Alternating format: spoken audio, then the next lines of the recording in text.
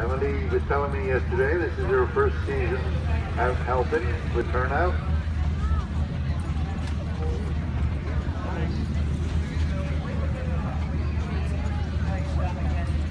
I beg your pardon, Oh, Katie. is calling you Emily. Got another Emily here somewhere. Right, Katie. 13 years old. And I saw her this morning. That beautiful tail braid in there, she did. So she's learning about the heavy horse. She has good teachers.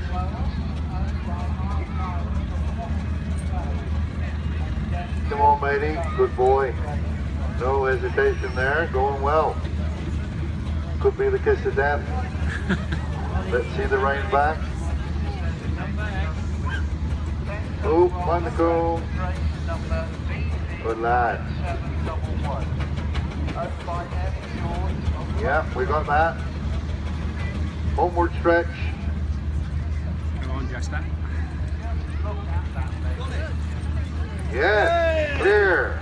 Come on, man. Two in the yellow, two in the blue. Yes, we got it. Well done. Round of applause there. How about that? grande, amor.